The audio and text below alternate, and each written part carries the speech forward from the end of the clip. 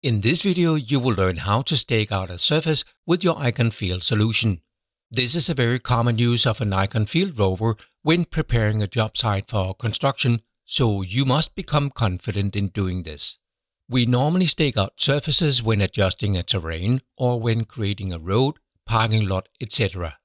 This video is a very basic stakeout introduction where we focus on two use cases. 1. Go with the rover on an existing surface and get an overview of the cut and fill balance of materials.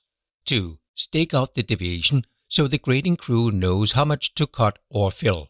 Here we show you the principles using very simple example data, but the data you will encounter on job sites will most likely be more advanced.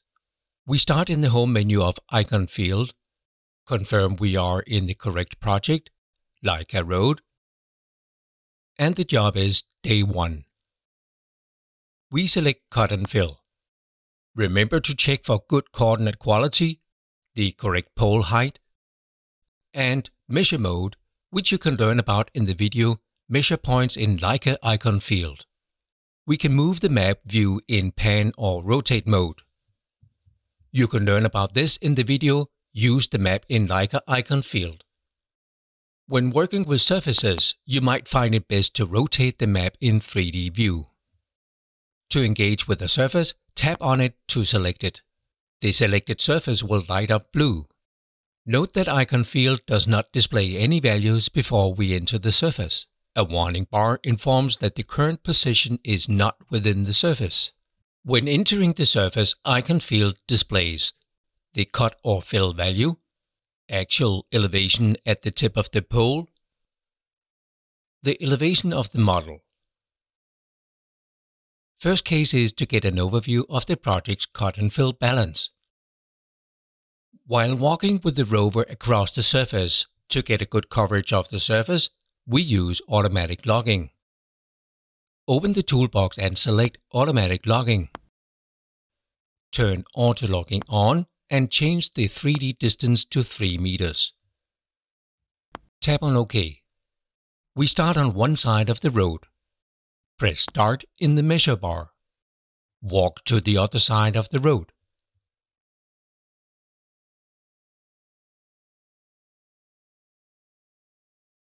Go some further steps along the road and cross it again to the other side. A point is logged every 3 meters.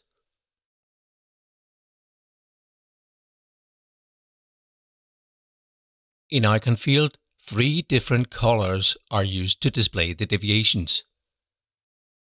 If the point is above the design file, it is displayed red and means cut. If the point is below the design file, it is displayed blue and means fill. If the point is at the same height like the design file, it is on grade and displayed green. Continue this process to create a grid over the surface which shows the actual differences between the design file and the real surface. This is extremely powerful, especially when building on an open area with nothing else to relate to. Second case is to stake out the deviations so the grading crew knows how much to cut or fill. We distribute several stakes at convenient and relevant spots in that area. When we are at the first spot, we hammer a stake in the ground, place the stake firmly in the ground and as vertical as possible. Place the rover on the ground next to the stake. Read the cut value from the information bar and write that on the stake. We recommend measuring and logging all your staked out points. They may be important for the project's quality assurance. To learn how to generate a stakeout report, see the video stake out points in Leica iCON field. We go to the next spot and repeat the process. Hammer a stake in the ground, place the rover on the ground next to it, and get the fill value. Write the fill value on that stake. Measure and log the staked out spot, and repeat this process for all the stake planned for this task. That's it you have learned how to stake out a surface with your iCON field solution. As a logical next step, you may want to watch a video about exporting data